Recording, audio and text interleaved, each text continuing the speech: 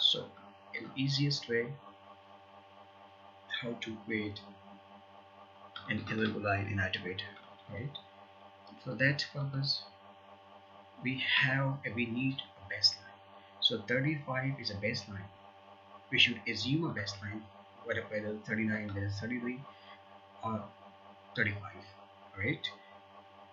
Get a polyline a line just by pressing PLN okay get a 35 is a baseline and next step we have to get a circle. Click on a point A mentioned here. And get a 41 feet. Alright we need 41 feet the right side dimension. Radius 41 feet. Do the same again. Get a circle click a uh, point B mentioned here. And type 41 again. 41 feet again. Get a line once again. Connect these points. And remove the line. So get a circle once again. Click on uh, a point C mentioned here. Get a 33 feet. The backside dimension 33 feet radius get a circle once again and take a first point. Right and take a dimension of left side 39 feet. Right the point is created. Get a polyline. Take the first point to connect and get over this C point. In second third point. Delete this line once again. Right so the plot is created you may get a dimension by clicking dimension aligned enter.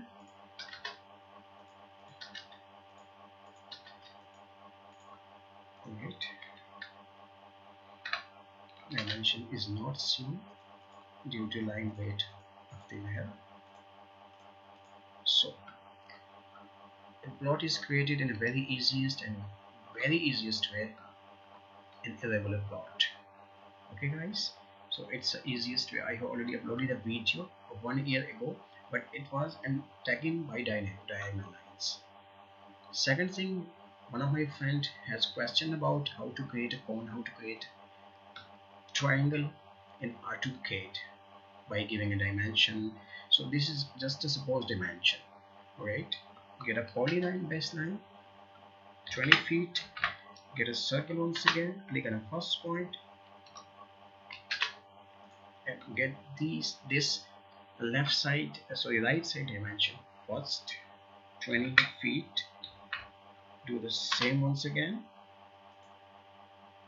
Click on a B point and get a left side dimension in the second point. 20 feet. Alright click a polyline. Take on a first point. Second point